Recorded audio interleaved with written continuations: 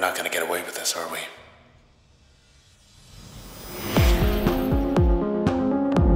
You're alive. Me, I'm not so sure. I'm so sorry, Red. They took your voice. Well, we took something of theirs.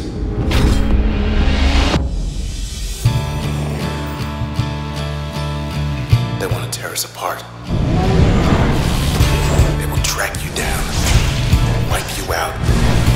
Whatever's left of me back to those two-bit Camerata pieces of trash.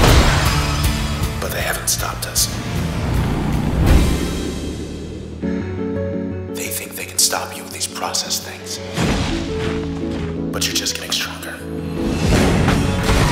Now they to start running from you. Wish we could just sit and watch the world go by. Maybe there's still time.